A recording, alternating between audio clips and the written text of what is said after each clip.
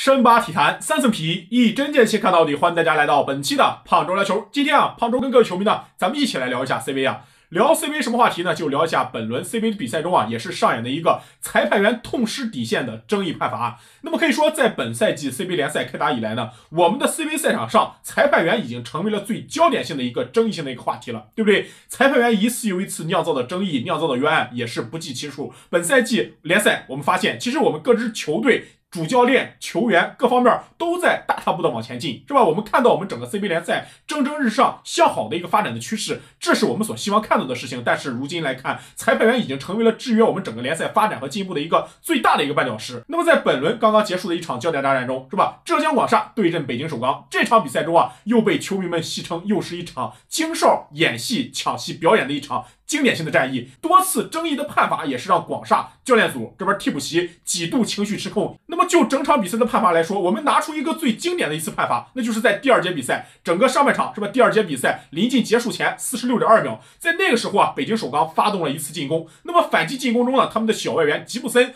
个人持球突破，准备攻击篮筐。那么篮下的高中锋许忠豪肯定是不能让他碾压着我上篮吧，对吧？我就完成一个垂直起跳，空中轻松的一个巴掌就给他扇下来了。两。两个人之间啊，甚至没有完成任何的身体接触，是吧？而是吉布森在完成上篮、想要闪躲许忠豪的过程中，自己失去重心，摔出底线，然后呢，把球给抛了出去。结果这个球呢，一巴掌就被许忠豪给扇了出来。那么被扇出来之后，很干净，是吧？这个球一看就是一个双方无接触的一个干净的封盖。结果呢，此时站在底线的五十三号裁判员朱海莹，他明确的讲招，认为许忠豪防守犯规了。那么在这个时候，其实我们不由得想要去质疑朱海莹，你究竟是哪一只眼睛看见？许忠豪犯规了，对吧？我们通过反复的慢镜头、多角度的回放显示，许忠豪和吉布森之间两个人，无论是腿，无论是脚丫子，无论是胸部，无论是肚子，无论是自己的胳膊，无论是自己的脑袋、头发，连个体毛都没有接触到，为什么？哪里来的犯规呢？是吧？这是引起我们值得去反思的一个问题啊。随后也是激怒了许忠豪，我们看到两米一十多的一个大高个，也是直接情绪失控的奔向了五十三号裁判员朱海英。那么朱海英也是被吓得连退三步，看他场面几度失控，随后在边线的另外一位裁判赶紧的冲上前来拦在了许忠豪身面前。如果说这个边线的裁判不及时的冲上前来拦住许忠豪的话，或许许忠豪那一刻情绪已经失控，他下一步真的有可能就要动手了。当然，这不是我们所希望看到的事情，但是我个人认为许忠豪有权利发表自己心中的愤怒，对吧？为什么你裁判员在场上可以肆无忌惮的表演，我球员就不能够表达我正常的一个心理的宣泄呢？对不对？因为我这样的一个被点燃的情绪，完全是因为你裁判员的一些丧失底线的判罚来激怒的。对不对？那么你为什么在场上一次又一次的做出这样争议的判罚，来让比赛的结果想要发生一些扭转呢？但事实证明，最终北京首钢是吞下了一场二十三分的一场惨败。这场比赛裁判员又一次成为了全场最大的一个污点，成为了大家最值得感觉到惋惜和丢人的一幕。那么如果说没有这些裁判员的抢戏，两支球队都作为我们联盟中比较拔尖的球队，可以为大家奉献一场非常高水平的巅峰对决。但事实证明，裁判员你总在想让场上去做点什么，不想当绿叶，总想着去当一个红花，总想。想着去主宰一下比赛，总想着唱一下主角。那么我们的这些裁判员，你在场上总想扮演这样一个角色的话，那么中国篮球谈什么进步？那么我们的 CBA 联盟还在等什么呢？难道不去制裁这些裁判员吗？对不对？本赛季我们的这些裁判员一而再再而三屡次的这样抢戏争议的判罚，确实让我们感觉到痛失底线了。尤其是这个五十三号裁判朱海莹，其实很多的广厦球迷对他绝对是。非常的记忆犹新，非常的熟悉，对不对？此前他多次在执法广厦的比赛中酿造争议，包括李春江此前当主教练时期，也是多次在比赛现场。直接就跟五十号裁判员直接就对喷。那么本场比赛他这一次丧失底线的判罚，确实又一次激怒了广厦球迷，激怒了广厦俱乐部，甚至让俱乐部的老总是吧，在现场当众发飙，大喊了五声黑哨。这在本赛季 CBA 赛场上，这还是第一次出现一个老总在现场狂喊五遍黑哨，面对着央视全国观众的直播喊了五遍黑哨，让全国球迷都听得清清楚楚的。难道这些裁判员这些如此低劣的表现，不是给我们中国篮球的脸上抹黑吗？对不对？我个人认为。姚明是吧？作为我们中国篮球的一把手，